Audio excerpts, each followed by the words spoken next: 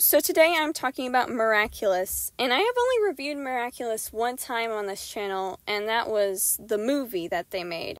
But don't watch it. The old video is bad, and the art is bad. Everything about it is bad. I did mention in that video, though, that I had only watched season 5. And now, at the time of recording this, I have watched most of Miraculous. I did skip some episodes because I could not stand watching another one where the pigeon man gets akumatized. But there was a theme that I noticed while watching it, and it was Miraculous's problem with redemption. Out of all the se- five seasons of the show, three characters get redeemed. Those characters are Chloe's dad, Adrien's cousin Felix, and Gabriel Agreste. And there it's just kind of strange how they handle redemption. And I know I'm not the only one who's talked about this. If you look on YouTube, there are a bunch of other videos discussing the the problem with redemption in Miraculous. And I'm just throwing my own opinions out there. I might not say anything new since so many people have already talked about it, but I just want to, so. This intro has got long enough, so let's just get right into it. I know I only mentioned three characters getting redeemed, but there is one character who was set up for redemption, which is Chloe. Chloe is a character who wasn't really raised in the best home. Her mom is kind of the worst, and her dad is the mayor of the city, so he doesn't really have time to take care of his own kid. Which leaves her with her mother, who, as I mentioned, is kind of the worst. I don't really blame her for acting the way she does because she was around her mother, who also acts that way she's a minor antagonist to Marinette because she bullies her, but like Chloe shouldn't bully her, of course, but you can understand why. And through the first couple of seasons of the show, you can see her grow into a better person as she's being Queen Bee. She even gets a better role model who is Ladybug. But then the show completely undoes all of her progress, saying Chloe was never really good, she was just Queen Bee for the clout. And then she just sides with Monarch. I'll get into reasons why this makes me so mad later on, but for now I'm just going to the next person who actually does have a full redemption. Felix is Adrien's cousin. Now, I watched the show completely out of order, so I started in season 5. And I just instantly loved Felix as soon as he appeared on screen. Since I watched the other episodes and seasons, I have a different opinion on him since the way he acted towards Adrien and the things that he's done.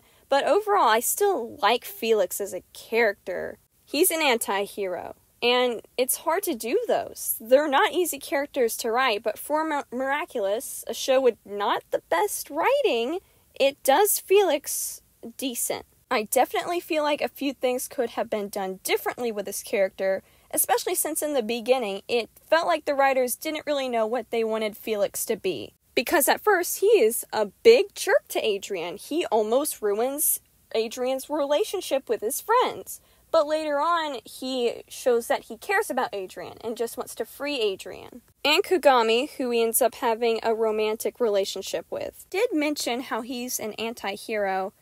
But I think that what makes him more redeemable is that he still has a set of morals. He may do bad things and he may use other people for his own personal gain, but he still draws the line somewhere.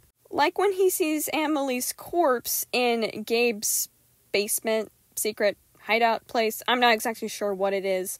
When he sees that, he gets freaked out. Or when he tries to bring Marinette after just zapping her into oblivion. He can't do it. Adrien is upset, and so's Kagami, and he is freaking out. Again! He's a pretty good anti hero.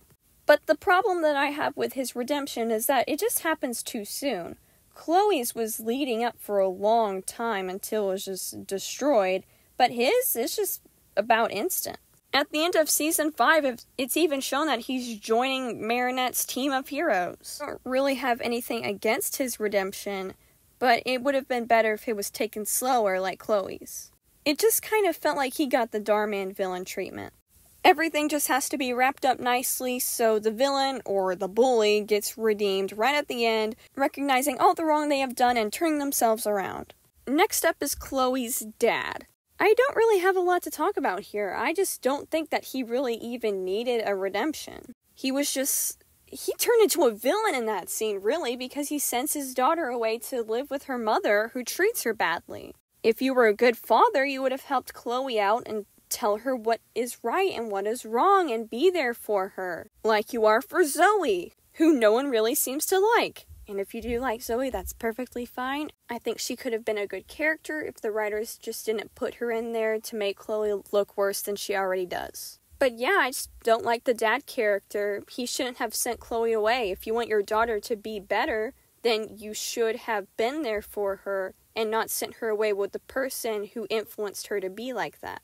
The person I really want to talk about is Gabriel because I did not expect or want this redemption at all. And I'm someone who really likes redemption arcs, and it's fun to see villains get redeemed, but Gabriel, it, just wasn't great at all. And I don't really understand why Marinette would just one give him the Ladybug and Cat Noir Miraculous. You've seen what a horrible parent he is to Adrien, and he might be doing this to help Adrien, but what he's doing is still not right. As I mentioned before in my last video, reasons are not excuses. You can understand why somebody would do something, but it doesn't excuse their actions or make it any less worse than it already is. But with the writing of Miraculous, it seems like they're trying to use this reason as an excuse for him being a bad parent and him tormenting the city. And I also don't understand why Marinette would, number two, tell Adrien that his father was great and a hero whenever he asked that Marinette would tell him that. Like at the end of the show, they seem really close and happy and stuff. And Adrien's like, man, I'll never live up to be like my father. And Marinette's just like, mm hmm, yep, he was a great guy, so much that we made a statue of him, and this is not at all a lie. And in the next season, if you actually ever find this out, you will not at all get upset, and then we break up, and all the build up to this moment will not be ruined, and the fans will definitely not be upset. I guess that the reason that they did this is for easy conflict in the next season, if that's what they plan to do for Adrien to find out the truth. Which I really hope he does.